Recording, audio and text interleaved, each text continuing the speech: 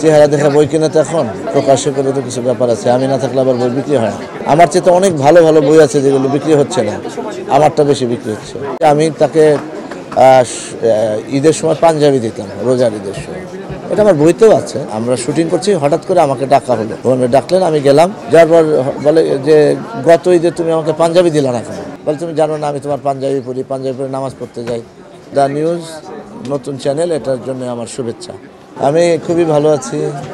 ব্যস্ততা তো আছে কারণ আমি এই কয়েকদিন শুটিং করে আসলাম জামালপুর থেকে। গত রাতে আসছি, এসে আবার আজকে এখানে বইমেলে আসলাম। আর মাত্র আজকে বাদে দুই দিন আছে। প্রকাশ্য করে তো কিছু ব্যাপার আছে। আমি না থাকলে আবার বই বিক্রি হয় না। চেহারা দেখে বই কিনে তো এখন? কত ভালো লিখলো সেটা দেখে কেনে না। চেহারা যাদের পরিচিত তাদের বই এখন। সাধারণত কেনা হয়। আমার চেয়ে তো অনেক ভালো ভালো বই আছে যেগুলো বিক্রি হচ্ছে না। আমারটা বেশি বিক্রি হচ্ছে। তো আমি এই জন্য আমি স্বাভাবিকভাবে আমার মনে হচ্ছে যে মানে আগে যেমন আমরা আসতাম যখন আশির দশকে বইমেলায় প্রথমেই চিন্তা করতাম কোন কে কত ভালো লিখে তার বইগুলি কিনবো। আর এটা সব ক্ষেত্রে বলব না তবে এই- এইটার একটা প্রবণতা আছে। গতবারও ছিল এবার বেশি একটু দেখা যাচ্ছে। এটা একটা দীর্ঘ স্মৃতি এখন সেটা বলার সংক্ষেপে আমি বলি সেটা হলো যে আমি তাকে ঈদের সময় পাঞ্জাবি দিতাম, রোজার ঈদের সময়। এটা আমার বইতেও আছে মানে এই স্মৃতিটা আমার বেশি। তারপরে একই আমি দেইনি, ওইবার আমি দেশে ছিলাম। তো আমি একদিন আমরা শুটিং করছি, হঠাৎ করে আমাকে ডাকা হলো। ওখানে ডাকলেন, আমি গেলাম। যার পর বলে যে, গত ঈদে তুমি আমাকে পাঞ্জাবি দিলা না কেন?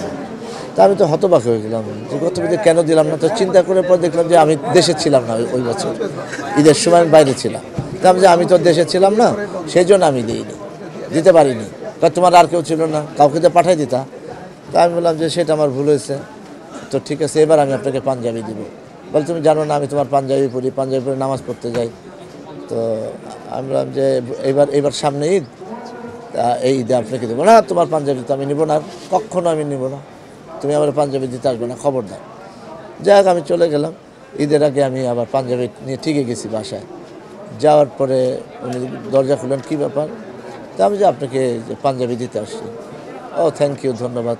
মানে আগে যে বলছে, দিও নিব না ওইটা আর কোনো নাই। এটা আমার সবসময় আমার লাগে যে ভালোবাসা কত থাকলে মানুষের একজনের প্রতি যে মানে একটা সামান্য পাঞ্জাবি, উনি হয়তো বস একটা ঈদে প্রচুর পাঞ্জাবি মানুষ তাকে গিফট করে।